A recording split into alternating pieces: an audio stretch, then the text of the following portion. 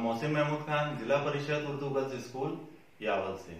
बच्चों, हम बाज़ार में जो है कई तरीके के सामान जो लाने जाते हैं। जैसे किराना सामान, सब्ज़ी, फ्रूट, फल, जूते, चप्पल, कपड़े, ये सारी चीज़ें जो है लाने के लिए हम जो बाज़ार जाते हैं।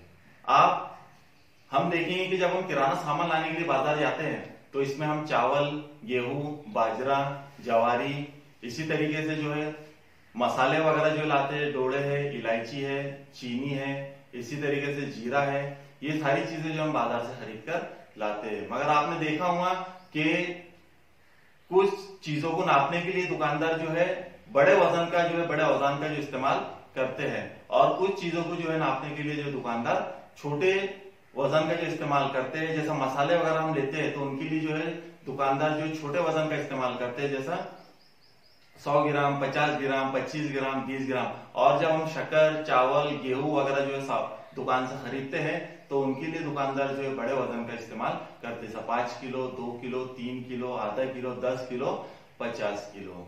हम जब सामान खरीदते हैं तो हमने देखा है कि सामान खरीदने के बाद में उसका जो वज़न दुकानदार हमको करके देता है तो वो मिलीग्राम, ग्राम किलोग्राम। दुकानदार हमें इन चीज़ों का वज़न जो मिलीग्राम, ग्राम और किलोग्राम में जो करके देता है। बड़ी चीज़ों को नापने के लिए जो है किलोग्राम का इस्तेमाल किया जाता है। इसी तरीके से जो है छोटी मिकदार के अंदर, कम मिकदार के अंदर जो चीज़ों को गिना जाता है, उसको मिलीग्राम या फिर ग्राम के अंदर जो है, उसको जो है तोला जाता है, गिना जाता है। अब हम देखेंगे यहाँ पर कि एक किलोग्राम के अंदर जो कितने ग्राम होते हैं। तो एक किलोग्राम बराबर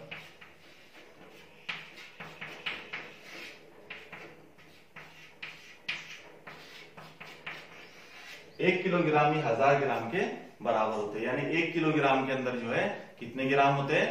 हज़ार ग्राम जो है होते हैं। इसी तरीके से आप दो किलोग्राम का अगर हिसाब लगाए तो दो किलोग्राम के अंदर दो हज़ार ग्राम होंगे, तीन किलोग्राम के अंदर तीन हज़ार किलोग्राम होंगे। यानी हम छोटी मिकदार में चीज़ों को नापने के लिए जो है मिलीग्राम ग्राम का इस्तेमाल करते हैं और बड़ी मिकदार में चीज़ों को नापने के लिए जो है किलोग्राम का इस्तेमाल करते हैं। तो चलिए, हम आज जो है जमा चारों, मजमून इल्म रियाजी सबक नंबर ग्यारह,